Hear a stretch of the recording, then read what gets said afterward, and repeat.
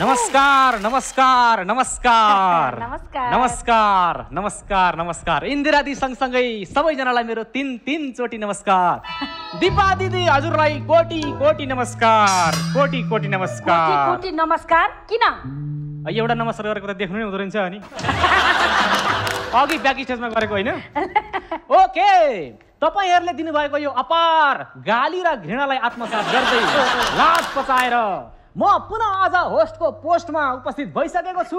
म मेक्सम गौडे। विष्णु प्रसाद गौडेल ओहो। ओके आज तपाईँहरूलाई म मेरो कार्यक्रममा हार्दिक स्वागत गर्न चाहन्छु। बाङ्गो कुरा नेतासँग। कमेडी च्याम्पियनमा गरेको होस्टिङको अपार असफलतापछि मैले आज जसको द्वारा यो होस्टको पोस्ट पाएँ संयोगवश आज उहाँ व्यक्ति नै मेरो कार्यक्रममा इन्टरभ्यू दिन आउँदै हुनुहुन्छ। र कति पनि ढिला नगरी उहाँलाई म यो स्टेजमा निम्त्याउन चाहन्छु। करोडौँ युवाका ढुकढुकी भ्रष्टाचारीले हान्नुहुन्छ भुकभुकी। अमनको नाममा सुपारी समेत नखाने स्वागत गरौँ छवि लामी छाने।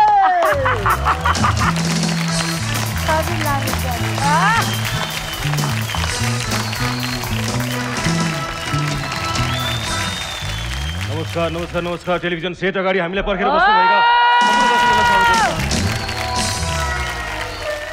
आज पनि टेलिभिजन सेट अगाडि म उपस्थित भइसकेको छु। आजको हाम्रो विषय भनेको गर्मी वात्तै बढेको छ गर्मी यति बढेको छ कि एकजना पुरुषले मुद्दा नै हाल्नु भएको छ र उहाँले भन्नुभएको छ कति धेरै गर्मी मौसम हो कि आगो निधार पुस्दा पुस्दा भाग्य मेटिन लाग्यो भन्नुभएको छ। त्यसै गरी अर्को अर्को प्रसङ्गमा पनि हामी कुरा गर्छौँ। दाइ जत- दाइ अ। दाइ आज आज तपाईँले होस्ट गर्ने होइन के?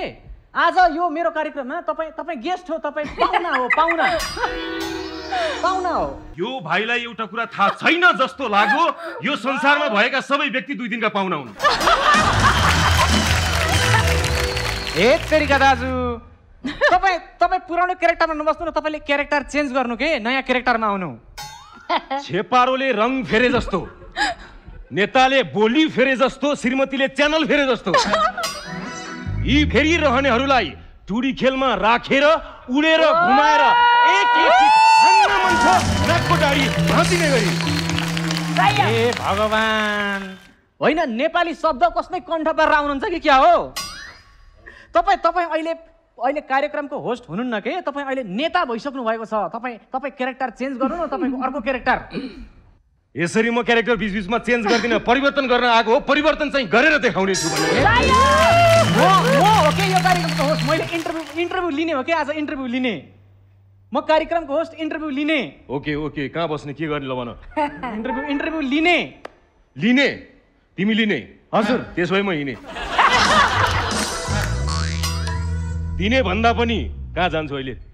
दिने भन्दा पनि म एउटा इमान्दार मान्छेले दिन सक्ने कुरा भनेको भ्रष्टाचारीलाई झकझकाइ दिने मात्रै हो। सही हो। ल ल ल के के के के दिन मन छ सबै थोक दिउँ अहिले चाहिँ अहिले चाहिँ इन्टरभ्यू न हजुर प्लिज ठिकै छ ल सुरु गरौँ। ल ब- बसौँ न त कुर्सीमा। जहिलेसम्म नेपाली जनताको मन जित्दिन म कुर्सीमा बस्नेवाला छैन। ए बरु तेरिका भुइँमै बस्दिन्छु म। लु सुरु गरौँ। ल ल ल भुइँ भुइँमै बस्यो नि बस्नु। भुइँ नपुगेर तर तल खाल्टो खनेर बस्यो नि बस्नु तर तर इन्टरभ्यू चाहिँ दिनु हजुर। इन्टरभ्यू दिनु प्लिज तर अलिकति चिसो रहेछ। ठिकै छ। यहाँलाई एउटा कुरा भन्न चाहन्छु म। अन्तर्वार्ता हो माथि नै बस्छु प्रश्न सोधिसो। परिवर्तन गर्न आएको मान्छेलाई लाउनु भएन नि त चिसो। ल अब कुराकानी प्रश्नबाटै सुरु गरौँ होइन? तपाईँलाई सजिलो प्रश्नबाट सुरु गर्छु। अब सधैँभरि अरूको इन्टरभ्यू लिइरहने मान्छे आज आफू इन्टरभ्यू दिइरहँदा हजुरलाई कस्तो अनुभव भइरहेको छ? अनुहार देखेरै थाहा पाउनु पर्ने हो कस्तो लागिरहेछ भन्ने त। मैले कति दिग्गज व्यक्तिहरूको अन्तर्वार्ता लिइसकेको छु कतिलाई दिइसकेको छु भने यस्तो विष्णु प्रसाद होइन?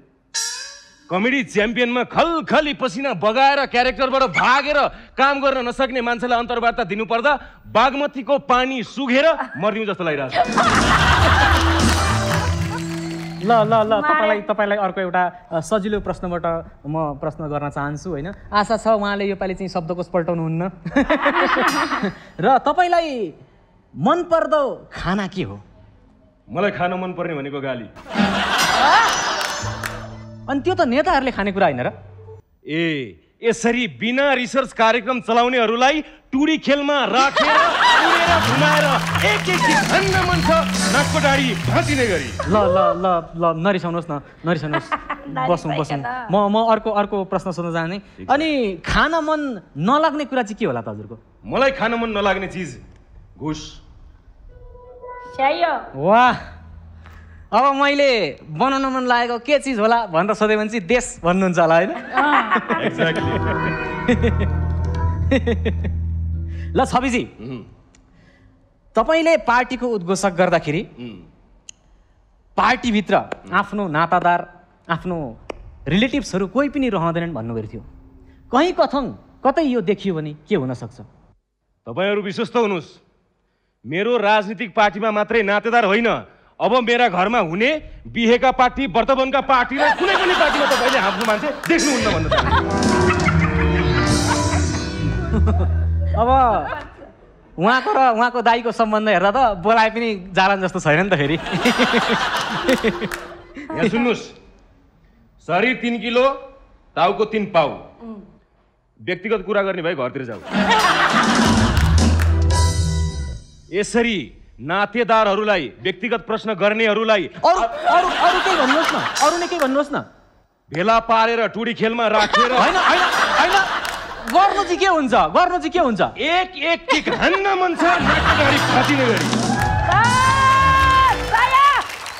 ल ल ल छविजी अलिकति अब समसामयिक कुरा गरौँ होइन? गरौँ। हाम्रो देशमा जुन हिसाबले महँगी बढिरहेको छ नि यस विषयमा हजुरको भनाइ के छ? जहिलेसम्म घुसखोरी गर्ने ठुला कुरा मात्रै गर्ने भ्रष्टाचार गर्ने नेताहरू यो देशमा रहन्छन् महँगी कहिल्यै घट्नेवाला छैन? रविजी तपाईँ तपाईँ पनि नेता हो नि अहिले। तपाईँ नेता भइसक्नु भएको छ। ए ए ए सबै नेताहरू गलत हुँदैनन्। कुनै कुनै नेतालाई उसको भिजन छ भने काम गर्न दिनुपर्छ भन्ने मलाई लाग्छ।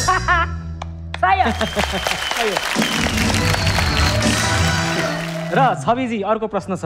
अब नेपालको विभिन्न कुना काप्चाहरूमा जमिन मुनि खनिज पदार्थहरू जुन तरिकाले छ नि त्यसको चाहिँ प्रोडक्सन भइरहेको छैन। यस विषयमा तपाईँको भनाइ के छ? कसरी त्यसलाई नि- निकाल्ने होला? मेरो यसमा एउटा मात्रै भनाइ छ।